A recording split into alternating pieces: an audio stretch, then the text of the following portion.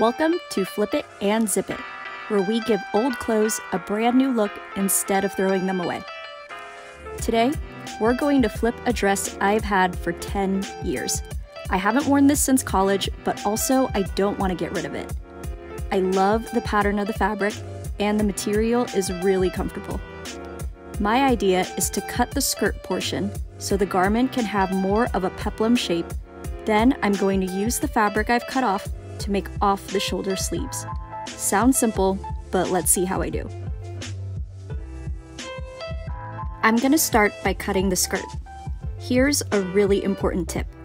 Whenever you cut length off the bottom of a garment and sew a new hem, you want to start cutting at a spot that's longer than what you actually want, and I'll explain why.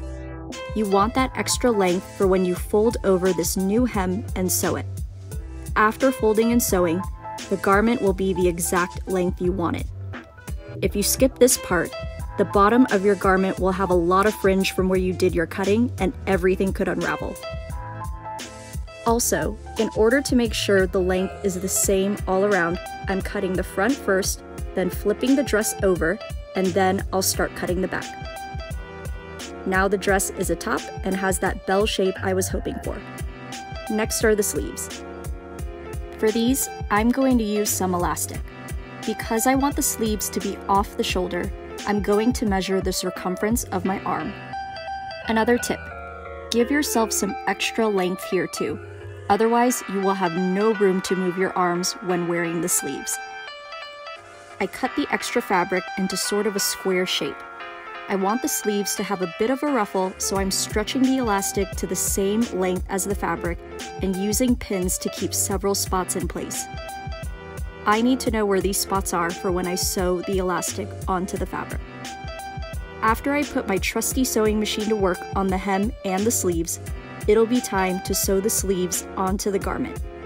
I'm going to do this part by hand because it's just a small stitch that we need to put these two pieces together.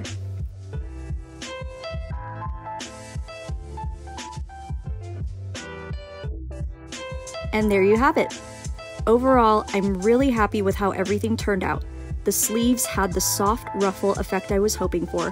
I'm happy with this new length, and I'll definitely be wearing this with jeans, maybe shorts, maybe skirts.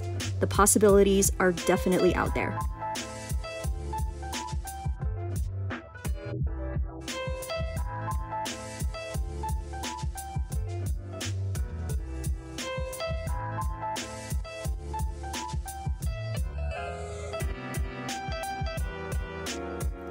I hope this video inspires you to do a similar flip in the future.